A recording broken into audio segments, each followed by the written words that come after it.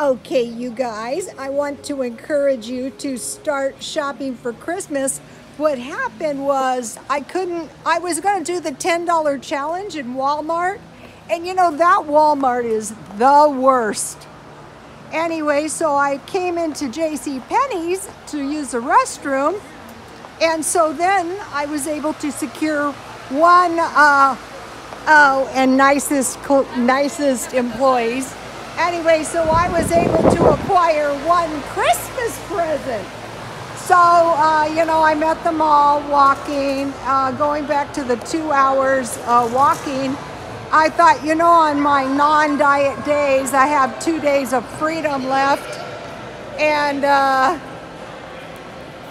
and then it's back to the, I look very bad after three days of that low carb diet. You know, sometimes the weight comes off and you look super, super awful.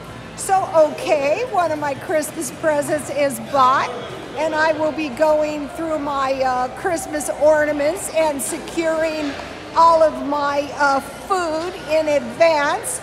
And I want to encourage you guys okay, you know, you can buy your Christmas presents anywhere. Uh, last year, I became aware that some of the ladies bought. Um, Christmas presents at the thrift store, and I thought that was a great idea. Uh, today is Dollar Day at the thrift store at Father Joe's. Uh, and what I do, I'm not doing it now because, you know, my eBay is very slow and I don't want to spend any more money on eBay. But if you buy luxury items, when they, they slash the price like down to a dollar, you can really get some nice stuff. Uh, what I look for is like Calvin Klein clothes, Ralph Lauren. You know, if it is any kind of good brand. Uh, I have some nice little INC dresses that I'm selling on uh, eBay. They're really, really pretty.